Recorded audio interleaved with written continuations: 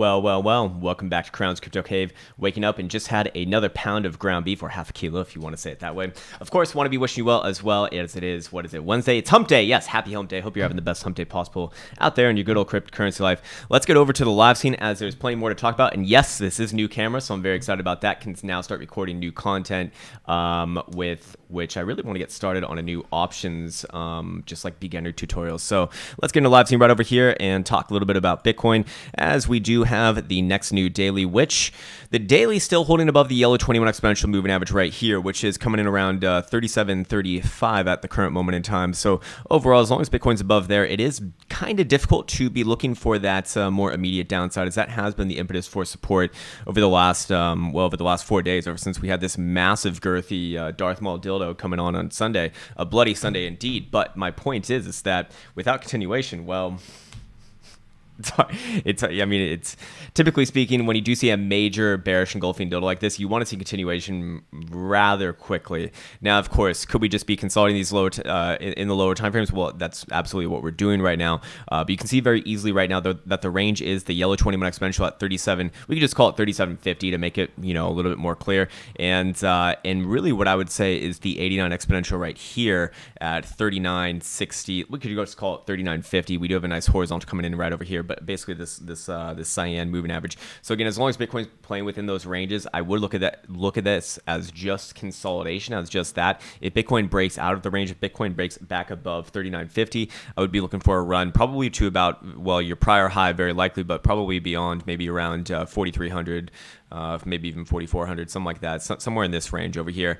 Um, by the same token, if we do break onto the downside, if we do break the 21 exponential to the downside, I would be looking for a move back down to the lower end of the range. 35.50 would certainly be on the menu, but uh, but personally, my thoughts would be somewhere down around 34.50, something like that. If we do put on our drawing tools, you can see a little bit better, but um, the bottom of this range governed by this rising trend line, which would be meeting up with a 6.8 Fibonacci retracement relatively soon. So of course, as Bitcoin just kind of lolls around in these areas, lolls around around. Yes, exactly. Um, if it lulls, you know, as long as it kind of hangs around these areas, it's not all that much to do. We can look for clues in the higher time frames, of which there is a massive one staring us right in the face right now, which I'll go over in just a second. But but my point is is that you know if you want to make it very easy for yourself as far as the i guess you could say like the micro, not, not, like the micro. What's like one step up from a micro? A mini. Yeah, that's I learned that lesson pretty damn uh, actually just the other day as I was looking for a micro a micro USB, but instead I really wanted a, a, wanted a mini, which I didn't even know that there's a difference, but apparently there is.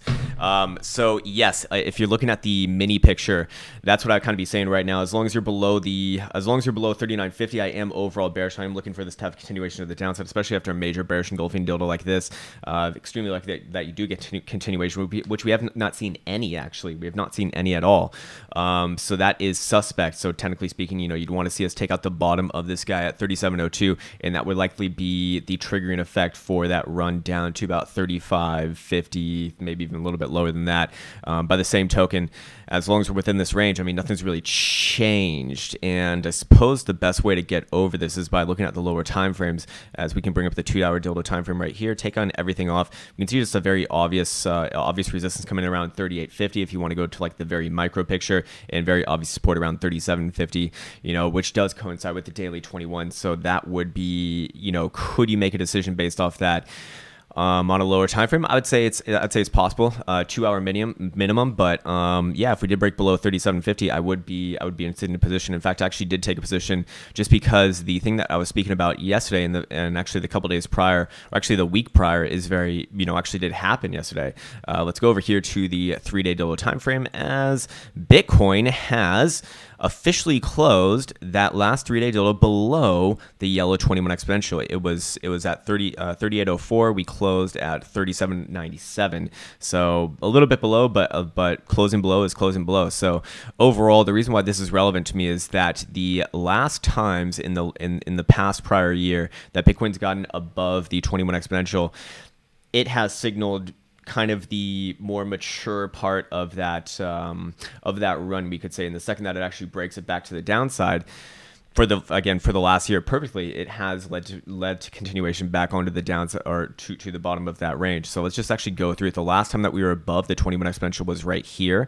Uh, this was in September of last year on the run to about 7,400, and then boom, massive red dildo, girthy red dildo coming all the way back down to the bottom end of the range. Now, of course, most of the damage was done in that first girthy red dildo, but but but but we could just go to, we could just go back a few more examples and, and kind of get a, a, greater perspective on this as the time before that that bitcoin was above it you know calls this like last ditch rally effort above um above 8000 and then once it breaks back below the 21 exponential where do you where do you find yourself at back down to the lows of the range at 6,000. And the time before that was right over here, getting it even a little bit better, a little bit more precise, I would argue, where it's just the very last uh, $1,000 of this $4,000 run from 6,000 to 10,000. Once we break back down below right here, below that yellow, um, that, that yellow moving average, then continuation all the way back down to 6,000 actually. And then the time before that, even more precise, actually just getting the double top perfectly. Although the first time you'll notice that we did close this guy below, we did get continuation right here, but it ended up reversing reversing back onto the prior high and then back down. So again, even if Bitcoin were to kind of reverse here,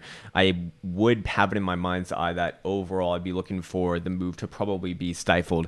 Um, and if we were to get right back to the prior high, maybe something like this goes on. Uh, but for now, of course, we actually did close below that. So that would be what I'm looking for out of, out of, the current moment in time. Now, of course, there is one caveat with this, and it's actually a pretty big caveat, and that is that in all of those examples that we looked at, Bitcoin had not just taken out the 21 exponential, but it also took out the 10 simple moving average, which is this red moving average right here. As you can see, we actually did not do that. Um, we are still healthily above it right now. It's actually coming in right around uh, 36.94, which is going to line up with some other higher time frames. But I just do want to present that right now because that was one of the things I was looking for. Now, obviously, obviously this is a three-day time frame, so it can take its time to kind of resolve itself. Of course, you know, it takes literally three days for one tick to be put in and set in stone. But for right now, it is quite interesting to me. We do see the 55 and the 377 get ever so close to each other. We do have basically a bearish posturing on just about all the other uh, major moving averages. Um, and I do believe that our higher time frame Stokes are still getting pretty mature, uh, namely the daily Stokes, uh, still coming down. Again, the last few times that has actually even gotten into the more critical zone, which was uh, actually a few days ago on the 22nd and 23rd, not right now, um, were, were those other major tops that we were looking at as well, funnily enough. So again, the last times that we actually saw it get this high was on that September run to 7,400 before they dumped to 6,000. Then the same thing with your August dump from from 84 to 6,000. Then before that was your May dump over here from 10,000 to 6,000, and before that was your February double top at 12,000. So again, you know, lining up with the same sort of macro events that we're looking at as well with three-day time frame on the 21 exponential um, and then, of course, we could also make a very similar, um, a very similar predicament with the four-hour dildo time frame, which did initiate a golden cross. I believe this was last week, or, or maybe like a couple weeks now. Um, man, time just fucking, time really fucking flies. I know I say this all the time, but oh my god, it really. it's actually quite scary to be honest with you. Um, but four hour dildo golden cross over here a couple weeks ago, that was kind of my signal to not be short that day and actually take a little bit of a long riding it up. Um, as I'm sure a lot of other people did, we caught this one like literally a couple hours right before it happened, but beautifully done and uh, resulted in a move about 17.5% up, lasting about seven days before this downturn. Well, again, going back into the history of Bitcoin, what has been the prior results of a cross like this? Of you know what what have the bots and algos been proven to be doing? Doing during these crosses. Well, again, the last time that we actually even had an example of this was over here on this run to 7,400. That goes up about 8.5%, gets faded into over the course of a little bit under six days. Um, so again, kind of a weaker one, but gives us an idea of what that of what that cross typically, you know, what it can do. The time before that was right here. The time before that was was literally sorry, it's actually a little bit less than that, but uh, but about a 25% move, uh, resulting in about a little under 14 days. So obviously significantly more than what we've done what, than what we've done right now. I mean, you know, significantly more is is perspective, right? But we've done about 18%. That one was about you know 20 to 25. Then the time before that was right here, um, resulting in another 25% move from from bottom to top. Or sorry, it's actually that actually is not where the cross happened. The cross happened right around here. Um, but again, about 21, 22% over the course of uh, seven, little under 17 days. And then the time before that was right over here, which was just a few days actually. I think about five days on this one um, and about 12, 12.5%. So you can kind of gauge the, gauge the relative strength of what that move was that, that we just did. Um, and kind of get an idea of what's I don't want to say likely. It's that's the wrong word to be using in uh, in technical analysis and trading language and tra- in trading parlance. But what I could say is that uh, it is kind of consistent what we've seen so far. It's consistent with, with, with, what the results have been in the past. Um, of course, this is, I suppose, this is the way that I'm gonna be looking at this. As long as we are below, you know, 3850, if Bitcoin does break above uh, 38, if I was taking a position in here, again, it's not financial advice, I'm not financial advisor. I'm just sharing kind of what I'm doing. Um, but I will be looking for a position in here, and I'll be using 3850 to kind of manage risk upon. Um, so as long as we're below 3850, I would be looking for this to, you know, have have pressure on it sooner rather than later. Um, but if we do get back above 38.50, then it's probably going to be a run back over to 39.50.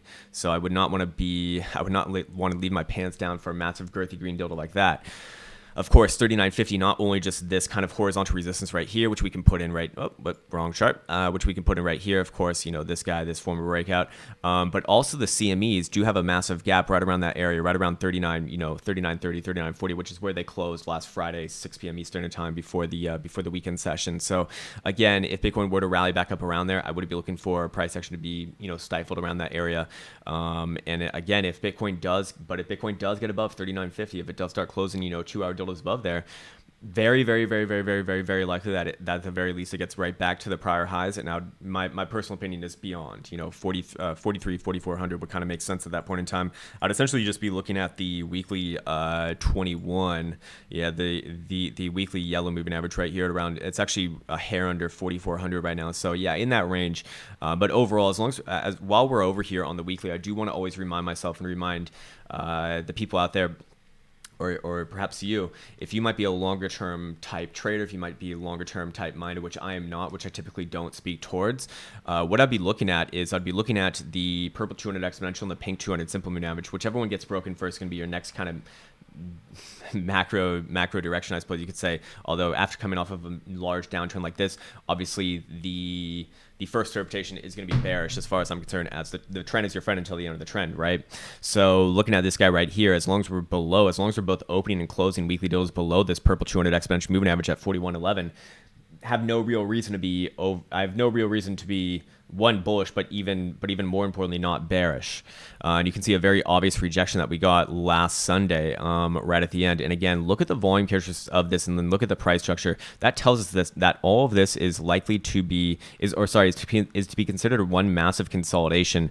Um, again, the volume signature a dead giveaway right here, and as long as we're respecting this area, I mean, just kind of wedging ourselves into this uh, in, in, between these two moving averages. Now, Bitcoin does break below the 200 simple moving average right here, which is currently coming in around 33. 50, then I would be looking for new lows. Um, and by new lows, I mean like significantly lower lows um, down over here to this next blue box territory that I've marked out. Whoops, come on, charts, get ready. There we go. Uh, which encompasses the, the region between 2300 and 2600. That is also the 886 Fibonacci retracement that you see right over here, taken from a taken from a whole Fibonacci retracement from the prior market cycle, essentially. Um, and then that actually is where Bitcoin did bottom out in 2014, 2015 market cycle right here on the 886 as well, taking the same sort of uh, retracement. And obviously some nice historical horizontal trend lines coming around this area. If the volume, if we show the volume profile, there's some massive activity being thrown down in this area By the way, as soon as you lose this 3350 area, there is nothing doing all the way down to this next high value nodes. And then of course, if we go over here to the BLX index, the we got the 377 exponential coming in right around there, and obviously the monthly as well, which brings me on to my next point. The monthly very, very, very, very, very, very, very 10 more varies. Sound like a fucking robot right now. Sorry about that. I do apologize, but extremely important as we are one day away. We're one day away from the next from the next monthly being set in stone again. Time just fucking flying by. This is insane. What the fuck? I need a time time machine. But when I look at something like this over here, I do want to be cognizant of the importance of where this one closes because we're actually right around a massive, massive area that will really account for a lot in Bitcoin as far as I'm concerned. As, as far as I as far as I do like more long-term analysis, and that is the Green 55 exponential moving average right here, which you can see Bitcoin broke for the first time in its in its overall history ever in January, the the uh, our past month. Now Bitcoin will have both a chance to both open and close below it on this current month of February, uh, as we did open below it, but it is currently trading above right now at the as the 55 exponential is 3678 right now. 36. We could just call it 3670 because that's what where it's going to be coming around if it actually does come into you know into contact. Um, so if Bitcoin does close below it, that would be the first time that we actually have what I consider like a confirmed kill of a moving average. And then the next level I'd be looking at is down around here, around the around the cyan moving average, which is where right around 2500 which is right in the thick of that of that blue box ter- that ter- territory that we just spoke about now of course while I don't believe that the lows for Bitcoin in, while I do strongly believe that Bitcoin moves itself lower, does that mean that it has to happen like right here, right now? No, it does not. I mean, looking at this right now, you do I do recognize this um, as per the shape and volume statistics, which is not available on the BLX index uh, as consolidation. And as these consolidate and kind of work themselves around this uh, this green this green exponential moving average right here, I would be cognizant of these two moving averages over here, the red and the yellow, as they approach each other lower periods. If they cross then I'd be looking for this consolidation to be resolved to the downside. It's just going to tell you that the, that more bots, more algos are going to start to intensify their sell programs, which very likely to happen. Um, very likely to happen if uh, if we do close below the green 55 exponential moving average. That's how I'd interpret all of this. Now, of course, could Bitcoin close above the 55? Yes, 100%. 100%. But of course, I need to see where it actually closes tomorrow. That is when I'll make the response to price action. But again, going off of the higher time frames, looking at we, what we looked at with the with the 21 exponential and the three day, looking at we looked at from the prior um, expectations of that, and just the overall well massive bearish engulfing dildo that we just set set in stone on Sunday. Um, I wouldn't be, you know, my personal opinion is that we probably do and below there. But hey, I don't trade my fucking opinion. I do not trade my opinion. I'll wait for this. To, I'll wait for this to actually resolve itself tomorrow. It's only one more day. And remember, I mean, most, I mean, for for the most part, most most of the action does not change even within a couple of months. I mean, everything's pretty much the same. It's been it's been the same story ever since this reversal this reversal formation right here. This pair of tweezer top dildos, follow through down. That's that's all it's been for over a year. Um, so again, uh, if Bitcoin did close above the 55, though, I would be looking for an extended correction to the upside.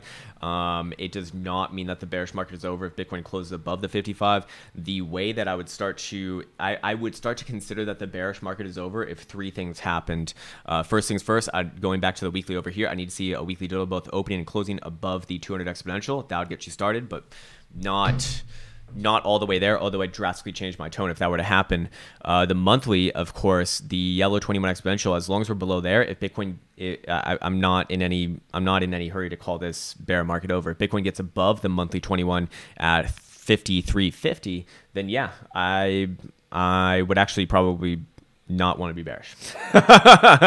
and of course, the third and final and most important, but you're probably going to know beforehand, probably with with regards to the monthly as well, is uh, is if Bitcoin could get back above the the 6,000 area, the area that I spent about a year going sideways upon before breaking down onto this massive aggressive downtrend over here. By the way, just as an aside, we kind of have a similar setup to what we had in 2014, 2015, but you just kind of get walked down to the next, you know, uh, exponential actually, um, as you do see this this yellow 21 kind of having a very similar reaction to price action as you do see with this green guy over here. So again, uh, there has been some sort of mental masturbation going on around there saying that uh, Bitcoin first, in, in its first market cycle, it bottomed out the 100 simple moving average. Then the second, it bottomed out the 200 simple moving average. Then the third, uh, third, uh, third is which is what we're on right now is going to bottom out the 300 simple moving average, which would actually be somewhere around this like low 2000 area as well.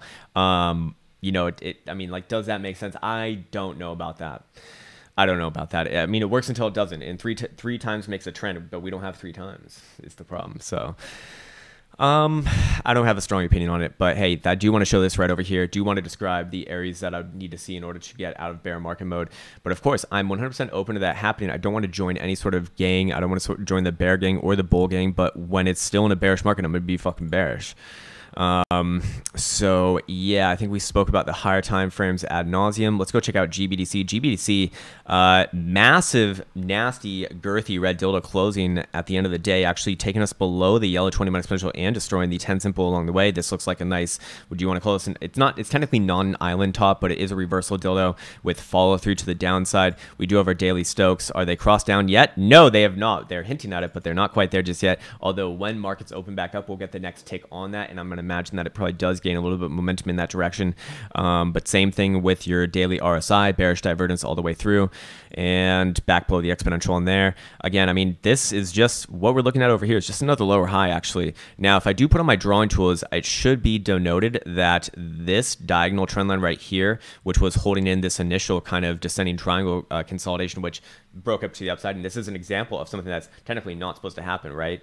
But of course, there is variability in this. And this is why I always say I don't care what you call a pattern. I only care about how you respond around, you know, uh, yeah, uh, uh around the supporting resistance. And this one broke to the upside. So fair enough. Although with a move like this and then immediately coming back down to test this area, not necessarily the best signal. Uh, and this is what you see a lot of the time in a, in a, in a bear market. You'll see a bull break and then it'll get faded uh, and, and essentially become a trap. Uh, but of course, that means that this area needs to break first. That's $4.29. I'd imagine that we probably do come back down and test it today formally, but I want to see if it actually breaks. If it does break by end of day, well, extremely likely to come back down to, to, to, to the prior lows and probably beyond. Um, so yeah, that is where that, that certainly is worth talking about. I think that all of our medium term time oscillators are switching around. We got our four hour Stokes coming down. We got our four hour RSI printing divergences and coming down as well. Four hour Jewel getting in the mix as well. Uh, not a perfect sell signal, but did give a sell signal right here. Not bad like that. Um, so yeah, that's what I'd be saying on that. Again, critical area right here, about four uh, four dollars and twenty. Let's call it four dollars twenty seven and a half cents. Um, okay, so going on to Bitcoin now. We don't we kind of skipped over the medium time frames all of the medium time frames are actually headed up right now. So if I did want to say a contingency to what I'm saying on the higher time frames, the lower time frames actually looks like they want to rally. Uh, we got our four hour Stokes headed up healthily. We got our eight hour Stokes uh, fresh cross up. We got our 10 hour Stokes fresh cross up.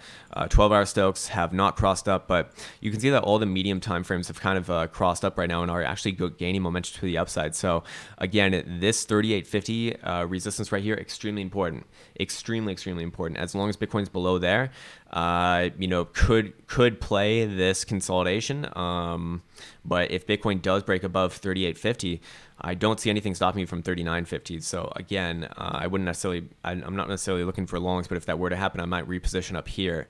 Um, so again, that's kind of what I'm thinking right there. Uh, overall, mm, yeah, overall, I'm not getting too much from this from from all my different uh, indicators. What about the six hour? Yeah, six hour Stokes are they're actually down right now. They're kind of uh, kind of looking weak right now. Um, but again, I am hesitant to really call this one either which way at the current moment in time do you want to give this one some time really to, to kind of resolve itself because because of the implications if it does get above this area it's likely to rally a lot more and that would offer potential for a much better position. Again as again very very important as long as bitcoin's below this cyan moving average at 39 we just call it 3950 i am going to be looking for shorts um, as I'd, as I'd imagine, if we do pop back up around here, it's going to be ma- it, sh- it, it, likely will act as massive resistance. Um, but then again, that also means if you get above it, then the then the story has changed. As my phone just gets ever so crazy over here. Jesus Christ, man! Oh my God. Sometimes you just want to say, "Come on, man! What the fuck?" What the fuck, man? Um, okay, cool. So, so, so, so, let's get on over to Mr. Buterin. Let's see if there's any clues in Mr. Buterin as opposed to uh, Mr. Bitcoin, as Mr. is at 142 and a few odd cents. But basically, a very similar setup. As long as you're below this 152 area, I would be looking for this to be massive resistance. Even if we do pop back up, yes, you do have your 10 simple coming around 146 and a half. But same same kind of deal here. If you do break 135, this is this is the this is the major thing. If you break 135, then very likely to come back down all the way to about 116, 117. Uh, probably retrace all the way to the bottom of the 618 Fibonacci tracement. By the way, this looks like we have a nice uh, trend line forming here, nice trend line forming here, which would technically you know make it a, a rising channel, rising uh, rising wedge, whatever the fuck you want to call it typically bearishly resolved pattern. Um, we have the same sort of setups on the uh, on our high time from Stokes. Uh, daily coming down. I think two day are confirmed down. Yeah, no, two day are not confirmed down, but they will be if they stay here. If price action is here or lower by end of day, as we do get another two day dildo time, uh, or sorry, two day, two day dildo coming back into the mix uh, later tonight. But overall, that's what I'm kind of looking at on this guy. Uh, daily looks like a front run of the 200 simple over here, and then down as it does start to get ras- wrestled, wrestled, wrestled by all these movement averages once again. By the way, it did actually break out of the long-term downtrend line, um, going all the way over here from May, right? From May at 800, it actually broke out of there uh, a few, or about a week and a half ago, 10 days ago, 11 days ago. Um, and so if we were to pop back down, we're probably going to come back and retest that trend line, especially when Mr. Buterin is, is basically being run off of run off of an event right now. It has constant to cons. I don't know how to say that word. Constantinople. There we fucking go.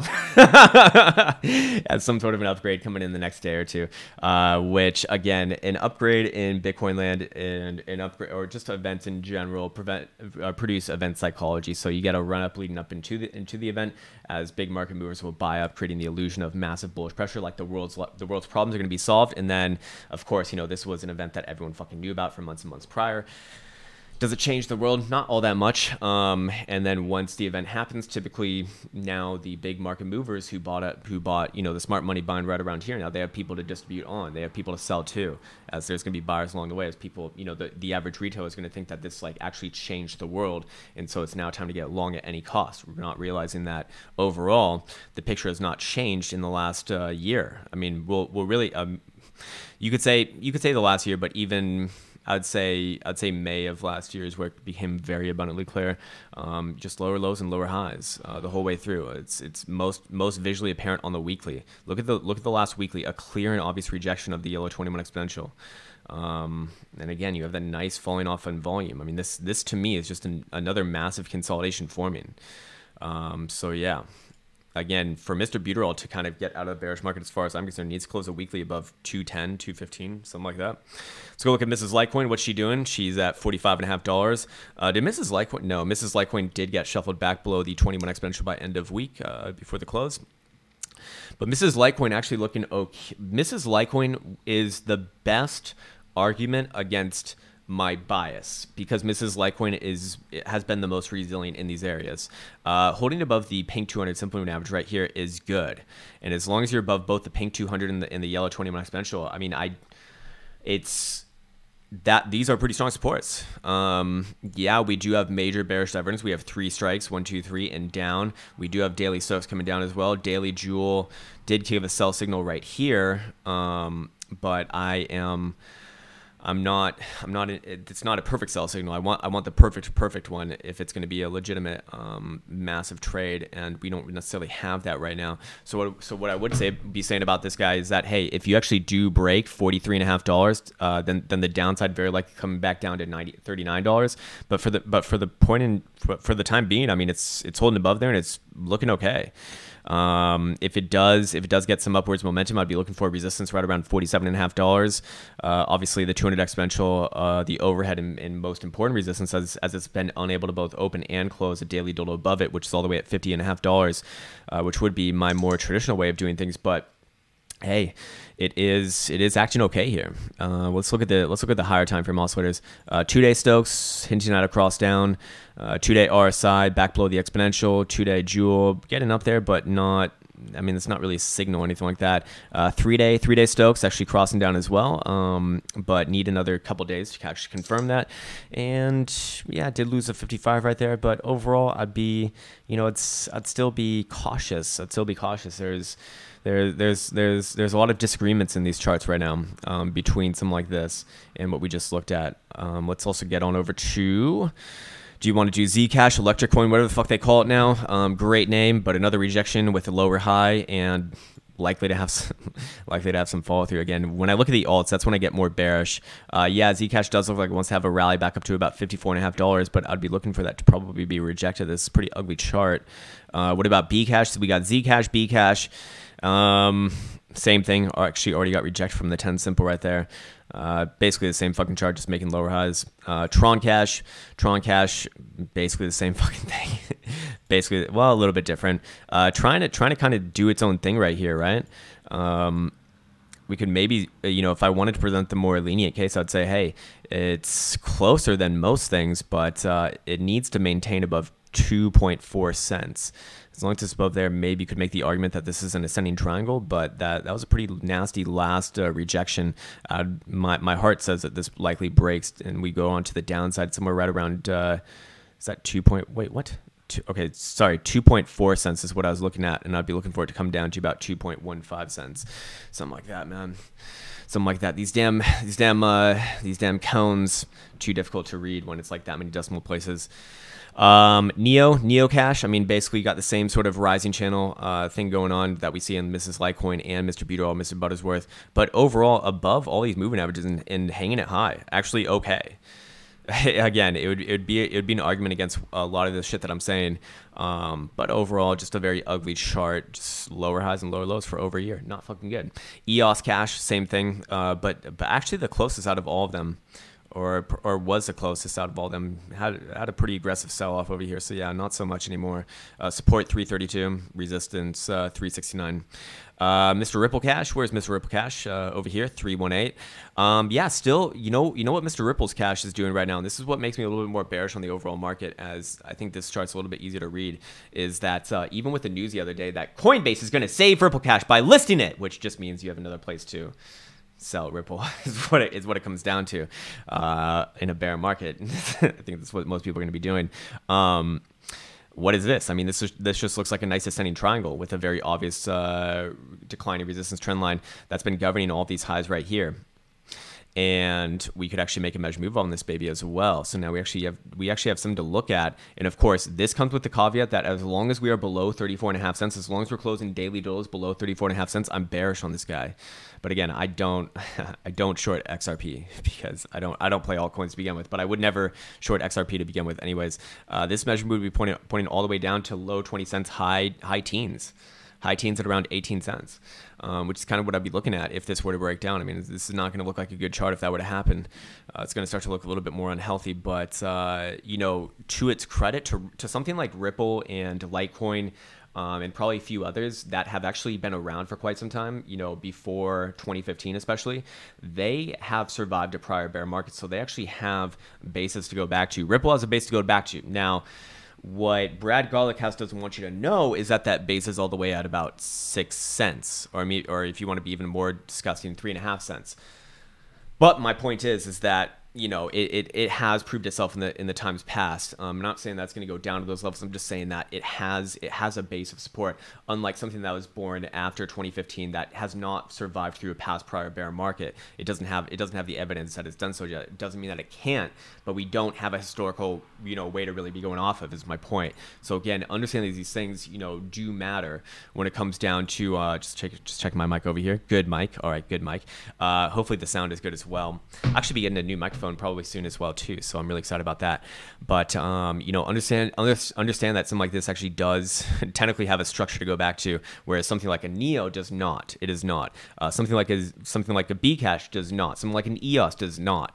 Uh, even Stellar. I don't know if Stellar was around in 2015 or it was it was in 2015 but I think it just came right after the prior bear market. But you can see that it does kind of have a prior base in a way. Uh, Stellar Cash, though, uh, weekly, weekly is kind of curling around actually. Weekly is kind of curling around if I do want to look at it like this. Um, I don't have a strong opinion on this one. Uh, Stellar Cash does want to cross up on the Stochs. It the daily does no, the daily looks nasty. Daily looks bad. Uh, yeah, another lower high. Massive hidden bearish divergence by the way as well. Yeah, even on a three day uh, one two massive uh, divergence there confirmed as a local high as well. So I would be looking for this to probably probably carry on through. What about the two day dildo time frame? Not really telling us all that much. Rejection of the 21 daily. Um, yeah, I mean, da- daily range is the same. I, they, they, they all look the, about the same. What are we basically doing on in uh, in Stellar right now? We're doing something like this, right? Another massive rising channel, or do you want to call it an ascending broadening wedge? I don't care what you call it. Typically a pattern of bearish distribution. Um, so yeah, let's get back on over, on over to Mr. Bitcoins, and we can probably start to wrap this bitch up. Oh, I should I, I forgot to go over this. Let's go over the longs and shorts of it all. I forgot to uh, to completely talk about that. But of course, I want to be looking at the underlying market dynamics to understand you know where where the ship is most likely turned you know what what is the more likely thing to be happening? And of course when we look at the longs and the shorts we have a drastic um, we have a drastic difference between them. We have over we have about 25 and a half thousand open longs versus under 18,000 open shorts. So uh, so heavily in favor of the longs. That is not good. Why is that not good? Because historically speaking when shorts get this low and and actually also within this um where is my is my shorts right here yeah, it is my shorts. apparently these ones got messed around. Sorry about that, guys. One second. Okay, cool. There we go. Everything's in order now. OCD is satisfied. Um, but whoops, stop phone. Um, but basically, when I'm looking at something like this guy right over here, uh, for the past year, every time that big every time that the shorts have gone into this into this red box territory it has spelled doom not moon but doom for bitcoin. It has been lined up with a major massive dump so when we're looking at all of the things that we began this video with kind of like bringing it full circle and, and bringing in the underlying market dynamics to kind of confirm this each and every time that we've gotten into this red box territory it has not been good. It has been major dump city. I mean this was again this was the beginning of your of your february dump from 12000 to 6000 last year. This was your may dump from 10000 to 6000 last year this was your August dump from 8,400 to 6,000 last year. This was your November dump from 6,000 to 3,000. And we're once again in this area. Now, of course, it can stay in this area for quite some time, as we've been saying, but uh, as you saw over here, but uh, it is, it's on the radar, is what I'm trying to say. It's on the radar as each and every time in the past year, this has been the result. Uh, let's go in the fear, the crypto fear and greed index, which is actually taken out of 39 right now, which is not all that bad. Um, it's basically a little bit of fear, but uh, we are actually at a 69 just the other day, which was the second highest you've seen this thing tick in the last year. The only other higher time was in literally a year ago in February last year at 12,000. So people were more optimistic yesterday, or sorry, a few days ago, than they were at any other point in t- uh, uh, any other point in time for Bitcoin in the past year, which is very revealing and shows the massive capacity for dissonance in this space where Bitcoin, I would argue, is in a much worse posturing over here than it was at any other time in the past year, as Bitcoin was still above 6,000 and still, you know, had it perhaps had a chance to, to remain above there. Um, but people are even more excited for that and it had not taken out any of the macro things that we've been looking for. Again, the weekly 200, the monthly 21, and just the overall 6,000 level. Um, so people getting very excited, and of course, each and every time that this thing has spiked up, especially above the 50 mark, which again it was above six, it was around 69 the other day, uh, has lined up with major dumps as well. I mean, again, this is your double top at 12,000. This was your top at 10,000. This was your top at 8,400. This was your top at uh, well, right before breaking 6,000, and then once again, even people even more excited than all those times except for the except for February of last year. So again, you know, keep that in mind. Um, keep that in mind as it's not a fully a fully formed factor in and of itself, but it is something that I do pay attention to, and it is something that I do want to be cognizant of as this area starts to resolve itself, and we do start to see the etchings of the higher time frame starting to switch around. And historically speaking, that has been you know a decent setup. So again. Um, I would, if I want to be super careful, what I would be saying is I'd be saying wait until the 12 hour 200 simple breaks, which is around 37.20. If that actually breaks, then yes, uh, we kind of have the same sort of marking that each and every time that Bitcoin gets above it, it's not too long that it actually gets back below it again. Same sort of deal as what we looked at before. And uh, that would probably lead to a nice dumpage at around 35, 50, I'd imagine, something like that. Uh, but overall, that's kind of what I'm thinking right now. Um, I think I've covered just about everything that I want to say. Uh, I think it can be very easily th- synth- synthesized down. Sorry about that. Synthesized down. I've I, I apparently have like a terrible lisp um, to just this area right here. Uh, daily 20 20 exponential moving average at uh, 3750 as long as you're above there don't want to be too damn bearish. If you break below there, I'm looking down towards the lower end of the range, around 35.50, maybe even 34.50. And then if that area breaks, then we can talk about getting the prior lows and beyond. Uh, by the same token, as long as you're below 30, 39.50 to the upside, I'm, I'm going to be looking for overall shorts in this in this scenario. If you get above 38.50, probably do rally and see those see that mid 3900 number, but if Bitcoin gets stopped around that 3950 area, then that would also line up with the CMEs filling the gap and likely finding some resistance there. If Bitcoin does get above 3950, then very, very, very, very, very, very, very likely to move on onwards and upwards to the 42 and beyond level. I'll be I'll be thinking to myself. So again, that's going to do it for today. Hope that the uh, hope that the new camera was uh, was decent. Um, I'm going to work on getting started with the options actually now, just because now it's uh, it's a much clearer picture. So could be better, um, perhaps. And I look forward to seeing you guys soon. I'll be back on later with some more live stream action. Hopefully, we can can get some actual action because that would be a lot better for I'm sure everyone here because well. Ain't nobody got fucking time to look at the same goddamn chart all day, huh? Uh, anyways, hope that you're having a great day. I want to be wishing you well, and I'll see you soon. Take care.